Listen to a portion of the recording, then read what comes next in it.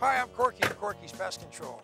Before we put your home on our service, there's a lot of planning that we have to do depending on how many plants you have in your backyard and what kind they are. Come on and let me show you around this yard. We inventory the plantings on your property to see what is drawing the insects and then we check them to see what insects might be present. We always make sure to inspect the ground cover too to find out what might be under there.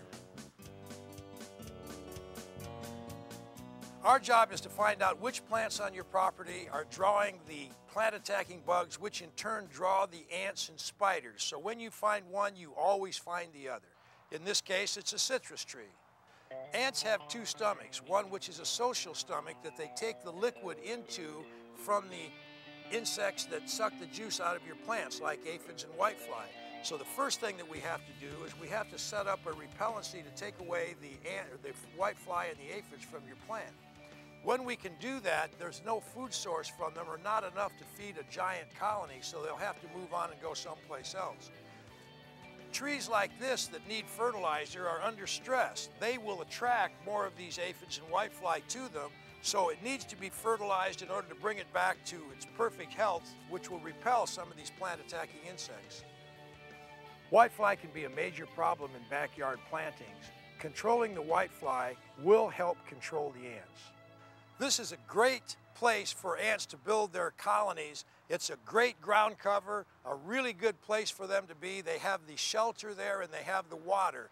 Their food is very close by at these citrus trees that we were just looking at. Knowing why the ants are here and where they're going to live is the secret of pest control. When we do a plant inventory on your property, we especially note the roses, the citrus trees, the conifers, hibiscus plants, things that the sucking insects will attack, and note the bottom of them where the ants will build their satellite colonies.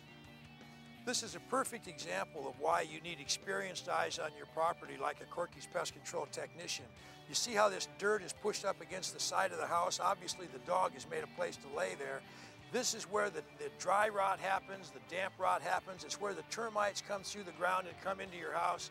It's an example of exactly what happens to your property. You notice that this ground is, needs to be pulled back. We spray repellents around the house, the foundation, underneath the window casings, door frames. We actually spray up the sides of the house.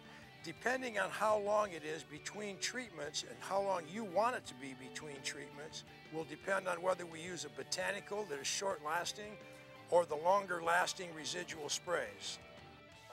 When you have the experienced eyes of a professional pest control technician on your property, they can point out all of the little problems that you might have that will stop a lot of insect invasions and a lot of rodent invasions and other things that might happen to your yard before they even begin. All animals, including insects, need food, water, and shelter to survive.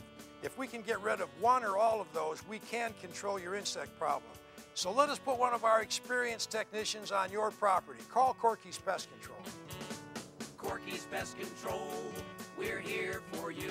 Call 1-800-901-1102. Corky's!